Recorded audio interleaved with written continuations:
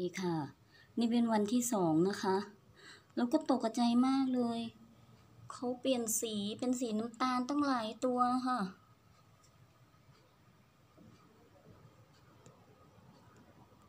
ทั้งหมดหกตัวค่ะ ในนี้มีทั้งหมดเก้าตัว ทีแรกทีเดิมทีนึกว่าเขาตาย แต่ว่าเห็นไหมคะว่า เขากระดุกกระดิกได้ เขายังไม่ตายค่ะ เนี่ยเขานอนดิ้งได้แป๊บหนึ่งแล้วเขาก็กระดุกกระดิกค่ะ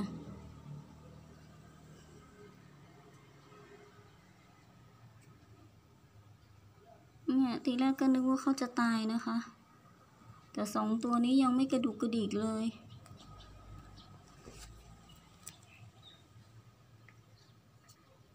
ไม่ตายไม่ตายค่ะ แสดงว่าเขากำลังใกล้จะเปลี่ยนเป็นดักแด้เหรอ พอดีวันนี้ก็เลยจะเปลี่ยนใบไม้ให้เขาค่ะ เปลี่ยนเป็นอันนี้แทน เป็นคล้ายๆ ใบคะน้าต่างประเทศอะค่ะแต่ว่ามีความผิดมากเลยที่เชื่อให้ต้นไม้กับใบไม้ที่โรงเรียนมา แต่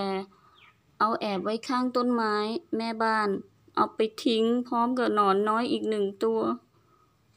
ย เสียดายแล้วก็สงสารทำบาป